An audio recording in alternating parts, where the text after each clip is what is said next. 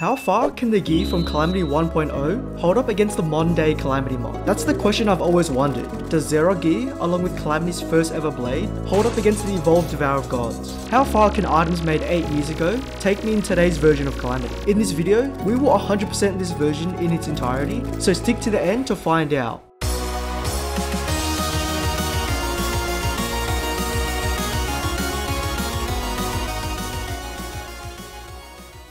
Okay, so some background information before we get started. What I'm currently playing on is version 1.0 of Calamity. You notice my rage and adrenaline meters are completely gone. My fight bar, also gone. There isn't even any difficulty game modes. Heck, for the full experience, why don't we just remove all the texture packs? Ah, okay, this is bringing me back to the good old days. Anyways, like I said, this also works with the current version of Calamity, but I won't be enabling it right now, so I could fully experience 1.0 for myself. With some trees cut down, I make a set of wood armor, and to the left that I spawn is the corruption. So without proper gear, there's nothing for me to do but to retreat and explore the other side. I found some living wood trees, give me an aglet, and a Wand of Sparking from the other chest. It's so crazy that traces of Draedon are nowhere to be seen in this version, as the cute little Wulfrum bots that I'm so used to are just non-existent. I eventually make my way to the desert biome, and the vulture drops a desert feather. Putting this into my recipe browser, we can see this recolored Avenger emblem, which is the spawner for the very first boss in Calamity. Further away, I reach the edge of the desert, and something pretty lucky happens here. The Devourer Worm spawned and chased me, which revealed a buried desert pyramid underneath the ground, which I never would have spotted otherwise otherwise. So I mined down and got myself the beautiful sandstorm in a bottle, providing me with a great double jump. As I venture further and further down, I loot a desert cabin, giving me a bar statue and the thunder zapper, a pretty decent mage weapon, but I don't really have the mana to use it right now. After dying to a tomb crawler, I respawn and notice the sun is setting once again, so I construct myself a nice little box, do some inventory sorting, and spend most of the night mining a elevator. After not much success of finding a good cave to explore, I recall up and revisit the underground pyramids. I find myself two life crystals, and moving away from the granite biome, I reached the blue mushroom biome. And from the chest, I really didn't get anything useful. But hey, the vanity set looks pretty nice, so that's what I'm using. After some time, I slowly approach hell, and the gold chest gave me the lava charm. And with that, I dropped down into the obsidian towers. But with only a copper pickaxe, I couldn't really do anything here. So I recall back to base and make the essential crafting stations. I made an amethyst hook, and with a small amount of platinum, I made a platinum pickaxe, which will allow me to mine obsidian, which believe it or not, is a pretty crucial ingredient within 1.0. And the game plan now, fighting the first ever iteration of the Desert Scourge. This is going to be interesting. So I make myself the Desert Medallion, and head over to the Desert Biome, where I built a row of platforms, and placed a campfire for some extra regeneration. And it's time to fight the Desert Scourge. One thing I immediately noticed is how incredibly slow and skinny the boss is. Like, I don't even have Hermes boots on me, but I can still very comfortably just run backwards and be fine from its quote unquote head charge. I completely annihilate this boss fairly easily. And yeah, I guess that's our first boss down. From the treasure bag, you're not going to be happy. I got no weapons, no accessories, only some seashells, starfish, and coral, which can all be obtained from the beach anyways. But we did get some victory shards, allowing us to make either the Star Fury or craft some Victide armor back at base. I only had enough ingredients to make 7 bars, so I crafted myself the Red Tide sword. Throughout the video, I'll be showing you old versus new comparisons of each weapon, 8 years apart from each other. And man, for my first ever Calamity weapon, I was pretty disappointed. So to craft all the Calamity gear available to me, I head back to the desert to collect some more materials. And since it's becoming nighttime, I spent the rest of the day building some NPC housing. And with the morning soon approaching, I head back to the desert biome and refight the Desert Scourge.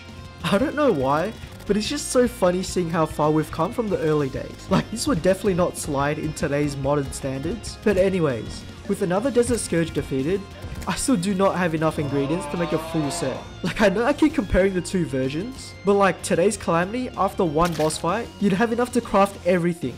The armor sets, the weapons. In this version, I gotta fight this meme worm another 3 times to get anything. Inflation is definitely real, and you'll notice this trend throughout the rest of the playthrough. This time, I tested my Red Tide sword, and I mean, with all that work, I can now craft a full set of Victide armor. This is the armor set bonus today, with a helmet for each class, literally a mini essay. And this is what we have in version 1.0. Increases life regen and damage while submerged in liquid. Pretty simple enough. I also crafted the sea bow, which deals a little more base damage, but fires a lot faster than a typical platinum bow. So to test my new equipment, I do a little arena preparations for the Eye of Cthulhu. I flattened these sand mounds, slightly extended the arena outwards, and let the fight begin. I mainly used my wooden arrows with the sea bow for the entire fight, and it actually performed decently well. The rapid fire rate from the bow made keeping up with the eye servants a little bit easier. And with the eye's defeat, I equipped the most important accessory in the Shield of Cthulhu dash, and craft some Demonite bars, which I would ultimately make into the Light's Bane. This is definitely an upgrade to my Red Tide sword, and now I head down into the Corruption Chasms. My first orb gave me the musket. It's decent, but nowhere near as good as my Red Tide bow. But the second orb gave me the Vilethorn, which has insanely good pierce and pretty underrated. And the final orb, which gave me some duplicates. And I didn't really try to defeat the Eater of Worlds, as I soon found out Aerolite was another set I could craft. Now, correct me if I'm wrong, but when this version of Calamity was out, Aerolite was locked as a post-evil boss, as you needed a stronger pickaxe to mine obsidian. But now, the materials to craft aerolite bars were actually possible pre-bosses. I spent today doing some underground exploration, grabbing some chests, life crystals, and mining a ton of obsidian. I then could craft some diamond dust and rope up towards the Sky Islands for the last few materials. I needed some feathers, clouds, rain clouds, sky mills, and sun plates. To the left, nothing. And it's kind of funny seeing how empty Calamity feels without the giant planetoids and little meteorites in the sky to give you loot. They definitely help to speed up progression in the early game. But with the lack of bosses in this version, I guess it kind of makes sense. To the right side, I eventually run into a sky island and got myself the lucky horseshoe from the chest and spent the rest of the night mining sunplate blocks for the skymill, clouds for my aerospec equipment, and killing the occasional harpy for some feathers. What was absurd was that a giant harpy feather actually dropped from one of the harpies, which is quite a rare find. But obviously, without souls of flight, I couldn't really make any sort of wings. Or could I? For my first haul, I made a skymill and then combined diamond dust with clouds to make some aerolite bars. I got 36 total from this, allowing me to make a full set of Aerospec armor. What a cool set bonus I will get. A Valkyrie minion, maybe some extra feathers on attacks. Nope, just increases movement speed as health decreases. Seems pretty useless to me, but I used it anyways. I still needed some extra materials, so I could try out all the Aerospec gear, so I spent another day farming up within the Sky Islands. And with that, I made the Gale Force. This does not have any special effects as opposed to the current version, but at least it shoots faster. And the Wind Blade, well, it didn't do much either. Now, I know you might think I'm disappointed, but that's what I kind of expected from the very first version. What I did not expect was how broken the Skyline wings were going to be. You gotta remember, in 2016 pre-hard mode, Wings such as Fledgling did not exist, so this was a first of its kind. And my gosh, was the mobility on these things so good. And with all the newly acquired equipment, I came back to the corruption for the rematch against the Eater of Worlds. With the Gale Force paired with just the arrows, I completely shred the Eater of Worlds. And without Calamity's anti-cheat worm protection, it got decimated fairly quickly. The Windblade was just kinda decent I guess, but I'm pretty sure a Blade of Grass or Light's Bane would be even faster. So that's another boss down, and we're one step closer to fighting the Slime God. Since Calamity has not nerfed the Worm Scarf in this version, I was quick to equip this accessory, giving me a very nice 17% damage reduction. And with the night still pretty young, I purchased a bunch of arrows and head over to the dungeon. On the way, I made sure to mine up some ice so I could craft some frostburn arrows. And since I'm feeling super strong right now, I just go ahead and immediately challenge Skeletron. As I mentioned, with aerolite wings I crafted, these provided me with some insane movement. Skeletron could not keep up and I was easily just able to circle it. That was another boss down. And now we begin our journey into the dungeon. In the latest version of Calamity, we would now explore the spooky Abyss biome, as abyssal treasures have been unlocked. But for 1.0, a water bolt was pretty nice. I also collected some bones, water candles, gold keys, and soon I end up noobishly dying, triggering a goblin army to invade my base. Usually, this would be somewhat of a struggle, as I aim to fight this invasion pretty early on into my playthroughs, but with the Gale Force bow and Water Bolt for piercing, it was a fairly quick battle. After the invasion, I made myself an aerolite hamaxe and used this tool to chop down some trees and expanded my storage capacity. And speaking of expansions, I did the same thing with my NPC prison. Now begins my proper elevator. Whilst I'm here, I go ahead and collect some hellstone ore as this will be quite useful for Statigel later on. And I'm not sure if it was just me, but this armor set seemed extremely broken. Just wait and see. I go ahead and gather some materials to summon the slime god, such as rubies, and on the way, I actually ran into the bound goblin tinkerer, which was a huge power boost for us as we get to combine some accessories together. I also made a start to my pylons by creating additional housing at the snow biome and pairing the goblin and mechanic together. And while I'm here, let's also gather a bunch of ice to make some frostburn arrows. Now before we fight Slime God, I had to defeat King Slime first. Like 3 of them total. Just so I had enough gel to make the overloaded sludge. In this version, it costs 100 gel for a consumable slime god summon. In the current version, it is 40 blighted gel for infinite attempts. So as I beat my personal best over and over again, I got a bunch of random goodies, and more importantly, 126 gel total. So I barely had enough to make another slime crown, and used the rest of the gel on the slime god summon. I just get one shot at slime god, so I better make this count. I construct a pretty basic arena, expanding my wooden platforms on top of my base, and topping it off with some campfires. Since it was already kind of dark, I wanted the viewing experience to be as best as possible, so I waited until daytime to fight the boss. But in the meantime, I just constructed more NPC houses at the desert biome. And also at the jungle biome.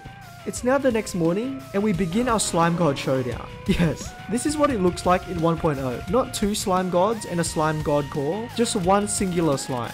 It was quite easy with my great piercing water bolt, but something extremely frustrating was in the true slime god form in the second phase, it despawned when I got too far away. The first phase of the fight was extremely long, so this made me pretty upset. I decided to do a bit more powering up within the jungle biome. The Caustic Edge was a weapon I was interested in, as it has pretty high base damage and gives sick whatever that means. I also ran into the jungle temple, so that's a nice plus for later down the line. After a while in collecting jungle spores, stingers, and vines, I ended the night off by collecting some fallen stars. So I could top off my mana bar. I made sure on the way to collect some meteorite, which will prove to be useful later on. Eventually, I made it all the way to the dungeon and used my spare keys I had to open a gold chest, giving me the Muramasa. And of course, I freed the mechanic because for some reason, I could not find her at all when I first explored the dungeon. It's now the next morning and we have some crafting to do. I first made my hellstone bars, which I would then turn into the volcano, which then I would ultimately craft into the Night's Edge. Then I made myself some meteor armor, and the space gun. These will all be nice to have for my rematch against Slime God. As with meteor armor, I had even more mana and magic damage to use my water bolt. There's nothing much for me to say about the first phase of the fight. It's extremely long.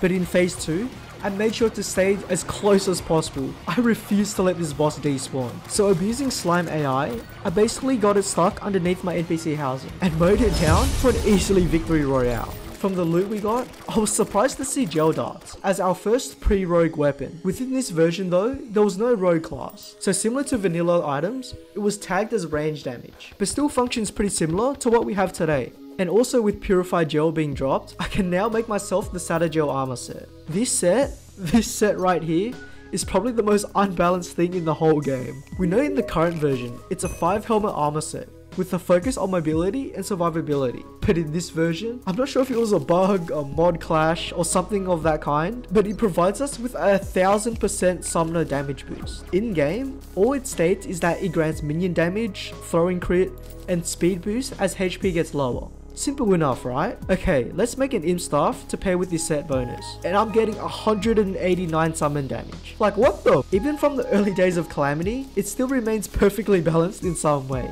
You might be thinking, there's no way Mura's gonna use for the entire run, right? Surely not. Well, you're just gonna have to watch and see. With Slime God defeated and all of Calamity's main pre-hard mode items obtained, there's nothing much else but for me to challenge the Wall of Flesh. So I got to work building a short little runway in hell, and once it was long enough, I went further out to see if maybe there was a glimpse of a Draedon lab anywhere in the world. But nah, they don't exist yet. I eventually made my way to the depths of the underground jungle and spotted a beehive. This is the perfect opportunity for me to showcase the perfectly balanced Statigel armor.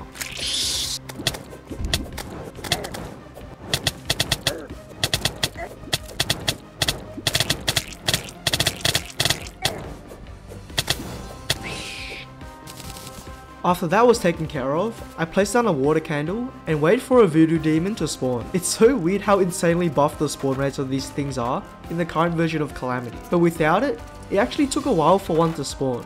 6 minutes and 8 seconds to be precise, for one voodoo doll. So we better first try this thing. So before the fight, let's get ourselves to 300 HP. And now it's time for the Wall of Flesh. There wasn't any real strategy to this fight. Just try your best to dodge the lasers by moving up and down, and obviously, I abused the hell out of the Imp Staff due to how great its piercing was. Like, looking back at the footage, the damage from the Imp Staff is absolutely absurd. And yeah, after a while, blah blah blah, Summoner always OP, and I eventually kill it. So fast in fact, I didn't even need my runway that I built. On to hard mode. Firstly, I destroy a bunch of demon altars to get some hard mode ores to spawn. And similar to vanilla, I rush through all the lower tier ores so I could mine some cobalt, crafting a cobalt pickaxe to mine some orichalcum, and make an orichalcum pickaxe to mine up some titanium ore.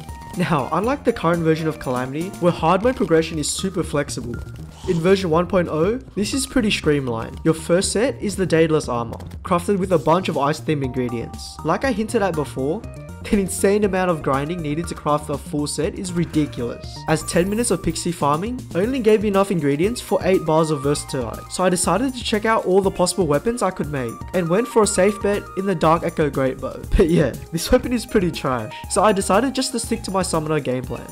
I realized even though I was on 1.0, Sanguine Bats and Whips were still up for grabs. So that was my next game plan to powering up through the tough early phase of hard mode. So I first shimmered my warrior emblem to a summoner emblem, further stacking my Statigel armor set, and with this, I did a little bit of limit testing. And as I was getting some buffs for the twins fight, a blood moon decided to spawn in. And that was perfect timing, as I now have a chance to get the sanguine staff. I made my way above the ice biome and built a nice little safety box above. I can confidently say I was pretty underprepared for this blood moon, and it definitely showed when I fished up a Dread Nautilus, which I stood no chance against. All the flying projectiles dealt so much damage, and I died a bunch of times thereafter.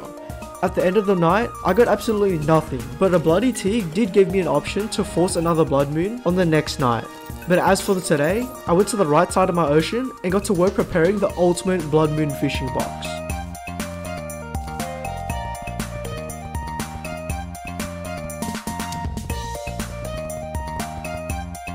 And once again, it went pretty bad. I ended the night with what seemed like every single special Blood Moon mob, except for the Dread Nautilus. So whilst I let another day go by, I restocked on my enchanted Nightcrawlers, and expanded my wooden platform further. Now, the next sequence you're about to see is pretty insane.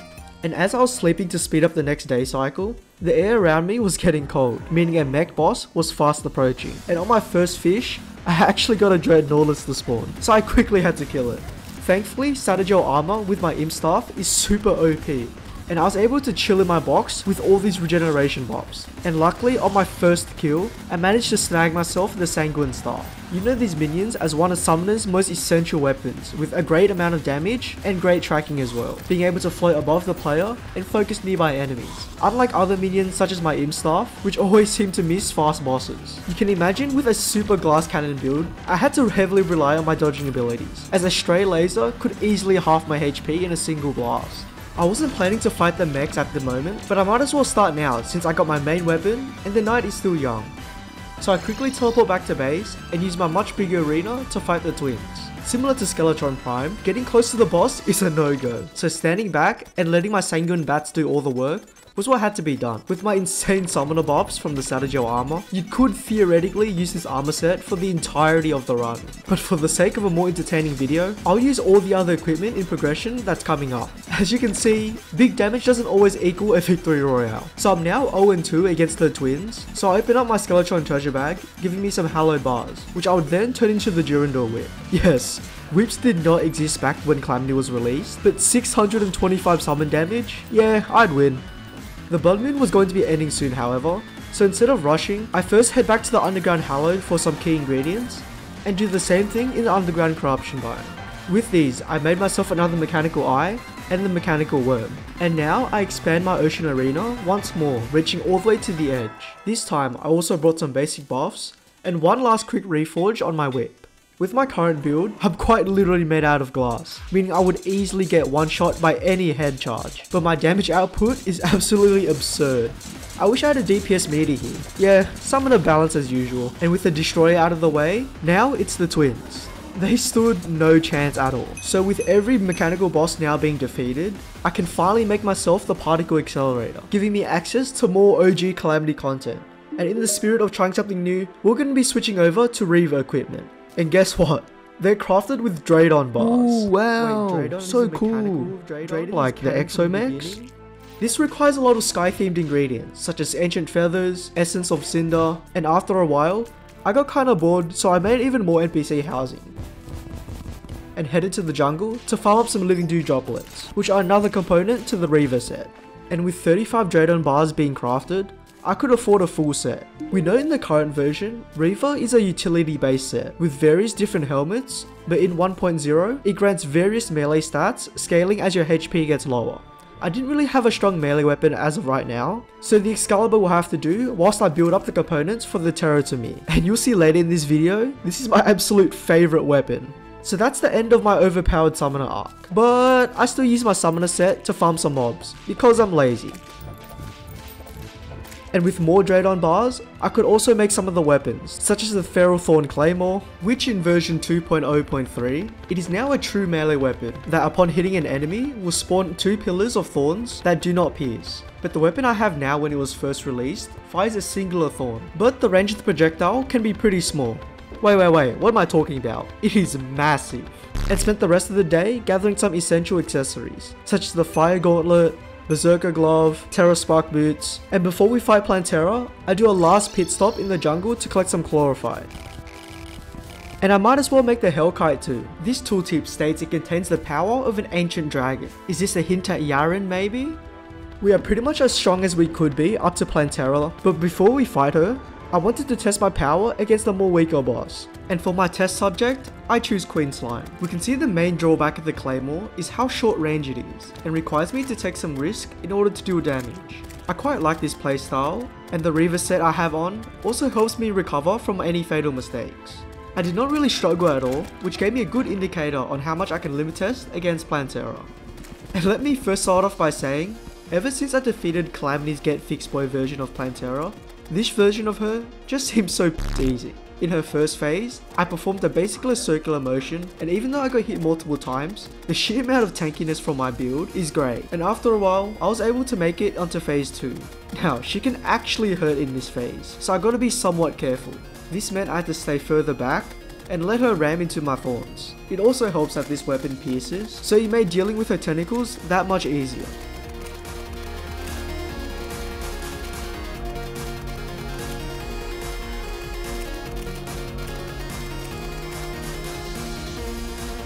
After its defeat, we unlock something known as living shards. These can be obtained with other materials to craft Cruptix bars and make the Ataxia set. And we can also go further with this by combining the previous Daedalus bars, Draedon bars, and the newly obtainable Cruptix bars to make bars of light. But a little more on these later. Since we're going to be fighting some really tough enemies within the dungeon, I'm back to the jungle to collect some chlorophyte, and I head to Hell to collect some more Essence of Chaos.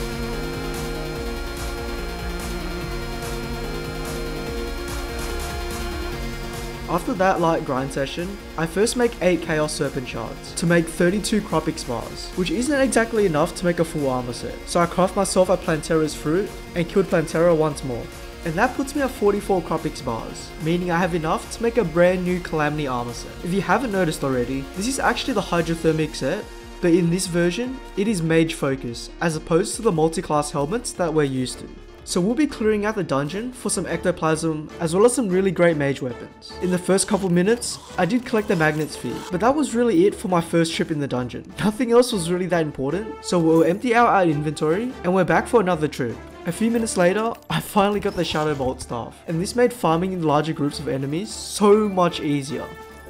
I took a little break from the dungeon farming and instead continued with the grind of farming essence, which would be much needed for future item crafts. With 26 Cruptix bars right now, I craft Discordian wings. Along with Discordian wings, I make myself the Hellfire Flamberge. This looks exactly like a sword, but is actually a melee weapon in today's Calamity mod. But here, it is a mage weapon that spews lava on every swing. This is pretty decent I guess, but we are going to need much stronger weapons if you want to stand a chance against Moonlord. And the weapon that caught my eye the most was the Terratomere. We know this weapon has went through a significant rework in the recent era of Calamity, and within this version, requires basically every single Calamity sword in the game kinda similar to the Zenith and its crafting tree. So for the next few days, I made myself the naughty present, planted some pumpkins so I could eventually craft the pumpkin moon medallion, and raided the golem temple for a solar tablet.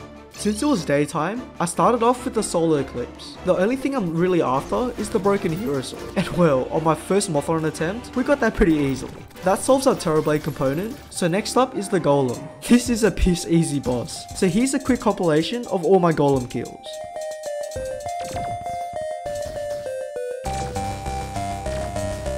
All of that gives us 31 energy orbs, and their main function is to make Tarragon armor. All I got from the in-game description was that it grants multiple defense boosts if your health gets low, and I've also noticed it boosts our max HP. Here is my current stat sheet, and I'm sure there are more details to this, but just know it has the same premise as the current Tarragon armor set. It is tanky as opposed to celestial armor sets, which are focused on damage. Also, I'm not too sure why you wouldn't use beetle armor, because it just seems flat out better, but I'ma just pretend they don't exist. And apart from the other Uelibloom options, one item I was eager to craft was the Gamma Fusillade. That requires 50 souls of might in its recipe, so I sleep through the rest of the day until it becomes nighttime. Then I go ahead and kill a bunch of destroyers. And with my Tarragon armor set, I was surprisingly able to face tank the entire destroyer fight, without any issues at all. And with a bunch of souls collected, I now head up into space so I can craft some ancient feathers, the jungle biome for some living dew shards, and finally the tundra biome for some essence of Eleum. There was some more grinding for other materials, but I can't be bothered showing you everything. With Cruptix bars, Draedon bars, and Verstaltite bars, we can combine these all together to make the Bar of Life. These are basically the life alloys in regular version of Calamity. It gives us some pretty great weapon choices. And of course, we cannot forget about Cores of Calamity. And with that, I made myself the Gamma Fusillade and Blade of Enmity. The mage weapon functions pretty similar, but it has slightly different and pretty e-rapey VFX. It fires a stream of high velocity projectiles that deal a ton of damage and the Blade of Enmity. I was actually super excited to see this weapon, only for it to be a true melee weapon, with nothing special about it at all. So I decided another weapon that was available at this tier was the Life Hunt Scythe. This weapon fires miniature scythes that heal the player when it damages an enemy, which is a nice alternative to the grind of the Vampire Knives. Whilst I'm at it, my final weapon for now was the Terror Blade, but I didn't end up using it a whole lot so I could truly experience this old ass Calamity weapons. All that's left to do was clear the remaining invasions. We are pretty strong right now, and with the Gamma Fusillade, I was easily able to melt down all the mobs. That is, except for the pumpkins, which actually require me to use some brain power. My first kill dropped the Raven Staff, and since it was a summoner weapon, I might as well abuse this with the Statigel armor, so I could speed up the invasion a bit more. Nothing else much for me to say, so let's just fast forward to the Frost Moon. One small change I made was using the Morningstar whip, just to speed clear everything so we could get to the later waves pretty fast. And let's just say, even though the Statigel was pretty hard mode tier, it is still strong hours and hours later into my playthrough. I didn't need anything from this event, so I cancelled it early and began my trek to the dungeon. It's Lunatic Cultist time. For consistent damage, I utilize my Gamma Tome for its insane DPS and easy tracking to melt the boss down. The only really tricky part about the Cultist is making sure you don't hit the wrong clone, and you can easily tell by the yellow markings on his hood. But if I'm being really honest, it didn't matter that much. Since I had Tarragon armor, I could basically use any weapon I wanted and be absolutely brain dead with my dodging. Yeah, this is sure some perfectly balanced gameplay. And in addition to the cultists dropping the ancient manipulator, we also got meld blobs which if we're talking about the current version of Calamity, this will be used for Lunar tier rogue equipment, but in this version, it is used to make some of the strongest gear in the game. we don't have quite enough for everything, so obviously we're making the me first. This does require some final blades to be crafted in the Xeroc Greatsword, which will require me to head to the dungeon and kill a ragged caster for the Spectre Star. Then combine these together at the Particle Accelerator, and this greatsword, this melee weapon is what I'm used to. A blade that shoots random projectiles. Then we go to the snow biome and do a bit of killing, mining ice, getting the ice machine, mining more ice, and oh my god it requires 750 blocks of ice. Like what? And our final blade is the Mariner, which requires us to go to the beach and mine up some coral and starfish. And after that, we got the Holy Grail of Swords. The Zenith before the Zenith was actually in the game. The ultimate Terratomere blade. This function basically identically for the entirety of this weapon has been in the game for. So there's still some powering up we can do, such as crafting the Frozen Shield for some insane synergy with my Tarragon armor, and do a bit of reforging. Man, I miss Calamity's current reforge system. Anyways, time for the first pillar, which will be Nebula. Mainly because these will drop meld blobs, which we can use to craft Xeroc armor. In the end, we got 210, which will be plenty to make all that we need. But since we're turning these into meld bars, I head to the jungle to collect some more chlorophyte. And with 75 bars total, I first make the Xeroc set imbued with rage and wrath as HP decreases. This set is an absolute beast. I never knew the name Xeroc was this old in Calamity, and for anyone with more knowledge than me, what was Xeroc in version 1.0? But anyways, let's test my might against Duke Fishron. The main reason for this boss is to get the Razor Blade Typhoon, which is a core ingredient in making the Nuclear Fury, possibly the strongest mage weapon in this version of Calamity. The fight itself can usually be pretty difficult, but with the homing capabilities of the Terratomere, I didn't really struggle with DPS, and killed him quickly before the sun slowly sets.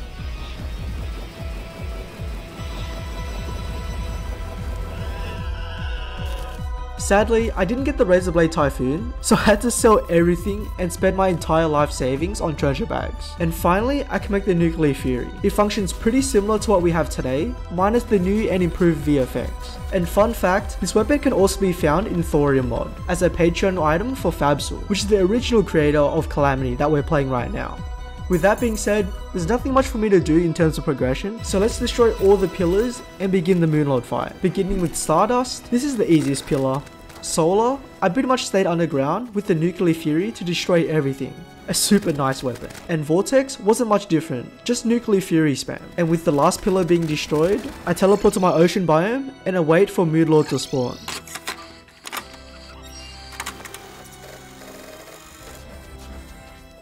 I'll be using the Terratomere as my main form of damage against the eyes and heads, as it allows me to stay further away without needing me to aim as much. My secondary weapons consisted of the Nuclear Fury and Stardust Dragon, just for some extra damage. Just remember, I'm using a multi-class set in the Xeroc armor, so this allowed me to get some insane damage numbers. After a bit of time, I managed to kill its right hand, and very shortly after, its left hand. You would want to ideally take all three of its parts at the same time, to minimize the amount of time the true Cthulhus could be firing at you. The miniature lasers are nothing to scoff at, and it was a fairly challenging battle, but we still have so many bosses left in this run.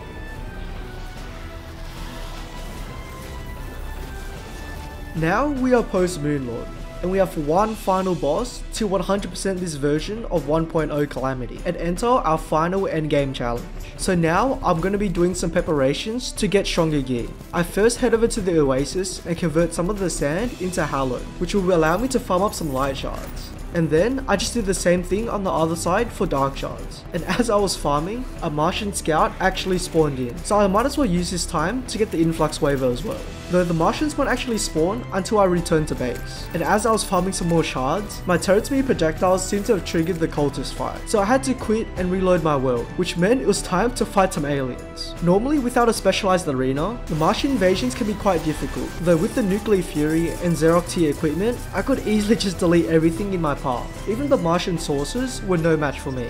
With my battle cry active, the invasion went pretty quickly, so I head back to the desert shard farming spot and triggered another Martian invasion, and this time I was successful in obtaining the Influx Waver. And since it was still nighttime, I melt one last devourer for some souls of might, and with all the ingredients obtained, I craft myself the Galactica Blade. According to the official wiki, this weapon right here was actually the first ever weapon created in Calamity. And in this version in particular, it shoots a bunch of stars that release from the blade, as opposed to the current version which rains down Galactica comets from the sky. This weapon was by far the strongest weapon in the game. The last thing I have to do now is to fight the actual Devourer of Gods. Right here, I have the Cosmic Worm, and as I was trying to spawn it in, yeah, it didn't actually work at all.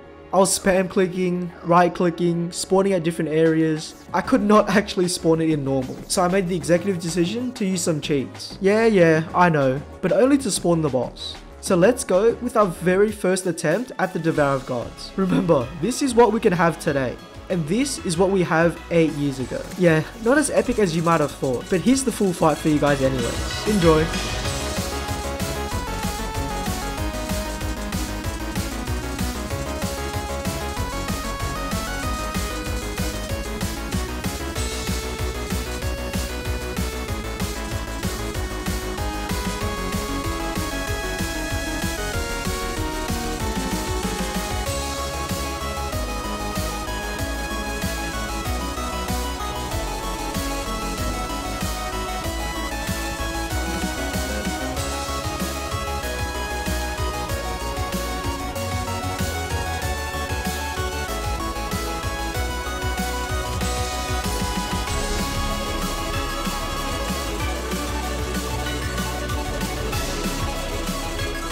Now there was a pretty funny highlight of the fight, which I had no idea about, where the Devour of Gods actually freezes me into place, and I literally couldn't do anything about it. Luckily for me though, the probes only dealt 1 damage, but the head charge was 200 plus damage. I was literally just matching my buttons until I was finally freed with around 50 HP. And yeah, I'm the best Calamity mod player in the world.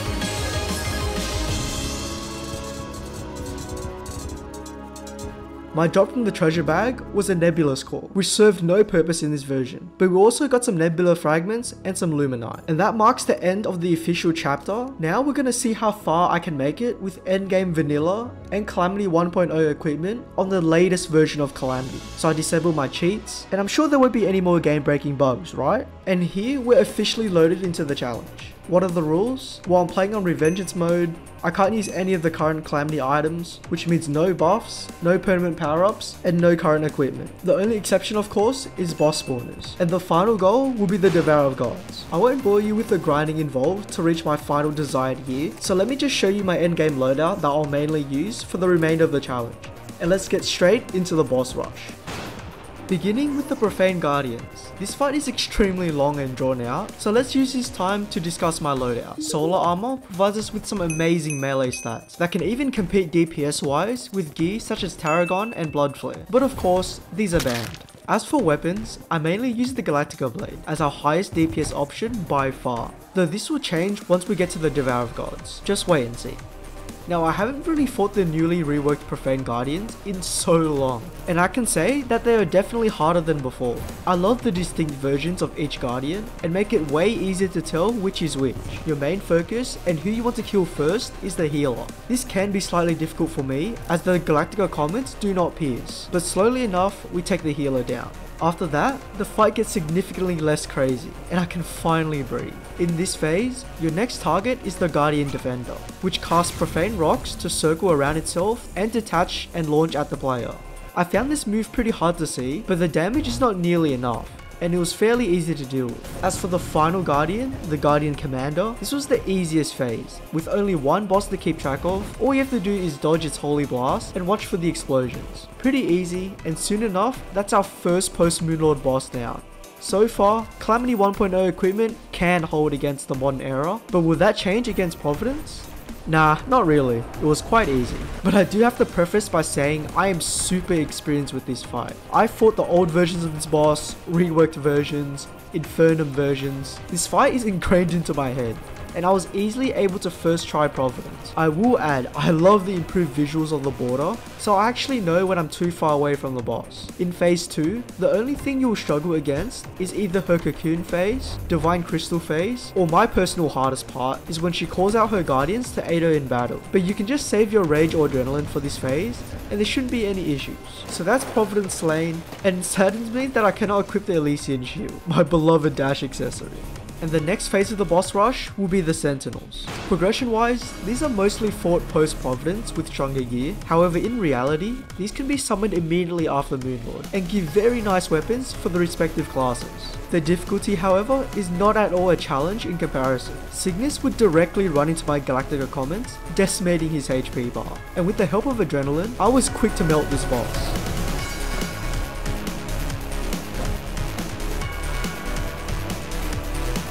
And the same thing can be said for the Stormweaver. This is when the weakness of my loadout started to show. The previous encounters, my DPS was nowhere near as optimal as you can probably imagine.